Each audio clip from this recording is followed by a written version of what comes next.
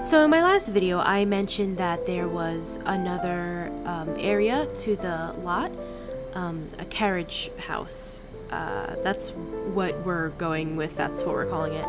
It's actually just like a little cottage, a single occupancy, I guess, cottage. And I don't know how big it is, and I don't know how much it costs because it's part of the Regency Manor that I built.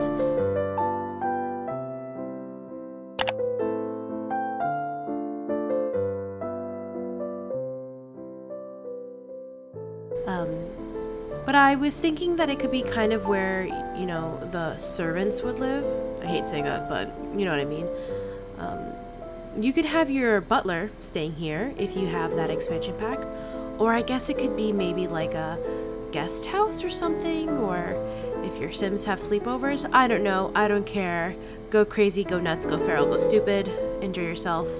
It's next to the farm so your Sims can have easy access to the garden. Honestly, it was just an excuse for me to build something, uh, you know, fancy and rich and wealthy, as well as something more uh, homespun. I don't know, um, natural. That's not what I'm going for. You know what I'm trying to say. Anyway, um, I love both houses. I love this little cottage. I like the manor. Um, I hope you do too.